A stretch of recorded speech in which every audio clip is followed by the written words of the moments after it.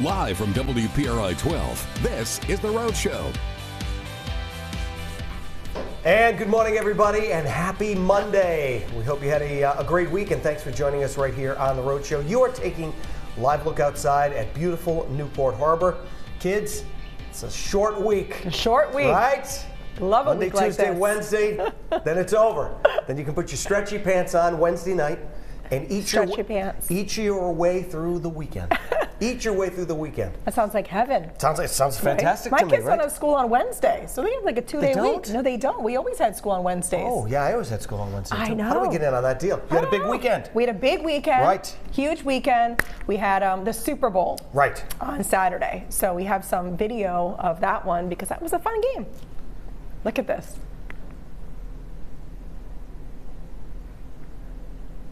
All right, so here they are playing, right? That's Alex, Okay. number seven. There he is. I was like, I was like, well- I was like, am I missing something? Did I lose my hearing? I didn't know if they were going to roll the, the sound. Like, over where it. am I? I hope they can hear us. You don't want All me- right, so you- this you is Barrington want me- playing Cumberland on the Super Bowl Division Two. Okay. I don't know plays that well, guys, but Well, that was a welcome the play that they just got a touchdown the other team. That means they that's scored a not point, it. correct? We come back. All right. Watch this play right here. This was a, like a. Oh, there's Alex. He Ah. said. He said, "No, not today, guys. He's going right in for that touchdown." Okay. And before that, he said, "Just give me the ball, guys. I'm There going to it get these eight yards," and he did. And they won the Super Bowl. I was so proud of them. Did you shoot the video? Were you uh, on the sidelines? This was 12 shooting it. Oh, they were there wow. that day. And then this was um, this was another big ga- oh, another play. There's Alex, number seven. That's my Wow. Alex, my guy.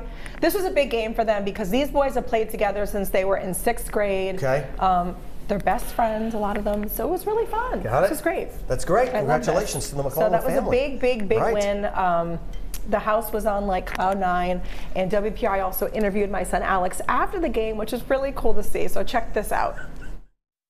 It's amazing. It's everything I've ever wanted. I, I, I mean, I just, I'm so proud of this team, how far we've come, all the way from you know the summer. It, it's it's special, man. This is a great group of guys, and this is everything I've ever wanted. We did it. We stopped them on the uh, two goal line stands, which is amazing.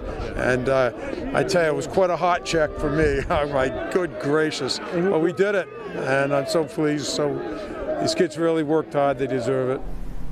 They did work hard, and this was again just a big, the big game. And you know, Right. these kids really, you know, again, you as parents, every parent out there knows you see the blood, sweat, and tears behind the scenes. You show up at a game like this. Mm-hmm, Both teams played phenomenal. Cumberland played phenomenal, like went all the way to the end. So it was just, a, it was really like a nail biter. My heart was like beating. My friend Robin was next to me. I was grabbing Right, her right, arm right. the entire well, of course, it's your kid. It's your kid, and you, it's your son. You, you're so proud of him, and he is an he's an incredible player. He's incredible. He won MVP of the game, so I will give him a shout out for that. He had a great. He had a, the game. I said you have to have the game of your life. That's what we said, and he, had a great game.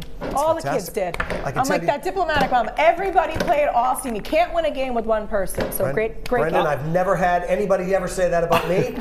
I've never played a we day of can't do a great show I without have a team. I have never played a day of sports in my life. I'm shocked. Not ever. I'm inspired. I'm going to have the show of my life. Yes. Have the today. show of your life. Go and out you know, there. some, maybe I might have the show of my life on Wednesday because I'm going to be live out there with fantastic. that team. What do we say? 42. I'm w- wearing You're number 42. Wearing jersey number 42. You don't want to miss that on, on Wednesday. But today's Monday. Congrats to those young Fantastic. men. Yeah. Fantastic. Good morning, Will. Good, morning, morning. Audrey. Morning. Great to see you both. Well, as we all know, there is in fact a stupid day for everything nowadays, and this week is no exception. For example, today, November 20th, is National Absurdity Day, and as someone who absolutely adores all things absurd and nonsensical, I love this. I really am the poster child for all things stupid and absurd, and if you don't believe me, perhaps I should jot down all of the reasons why. Well, maybe another time. But even more importantly, tom- what am I going to do with this, Audrey? It's hurting my back. Tomorrow, uh, November 21st, is World Television Day, which celebrates this glorious medium that allows us to connect each and every morning. Now, why do I invoke this other than to fill precious minutes of powerful network affiliate airtime? It's because tonight is the perfect celebration of the medium I love as far as I'm concerned. As get ready for this, David Letterman will join Stephen Colbert on The Late Show right here on WPRI 12, your favorite station, at 11:35 p.m. Now, this is a major television event. It'll be Letterman's first visit back to the Ed Sullivan Theater in over eight years as he hosted The Late Show from 1993 until 2015. Now, if you know anything about me, it's number one. I sleep with a nightlight. But number two, and more importantly, David Letterman is the main reason I chose to pursue this crazy career in broadcasting and talk show hosting. That's right, it's all his fault. I admired him and he inspired me to go down this comedic path to pursue this line of work with everything I had which really isn't much if you've ever seen me right here on the Rhode Show. But I actually was his intern way back in 2003. And Audrey, I have a picture of when I met him those many years ago. It's today's edition of a Brendan Kirby favorite, Rhode Show and Tell. Now look at this. I, I was a very confused 20 year old young man. Look at those glasses. I look like Benjamin Franklin. But, hair's still on point. Thank you. This was uh, taken in the offices of the Ed Sullivan Theater.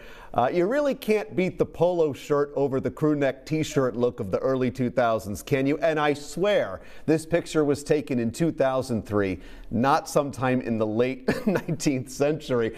My grandmother used to have this hanging in her kitchen, so the sun used to hit it, which is why it's tremendously faded. But look at me right there.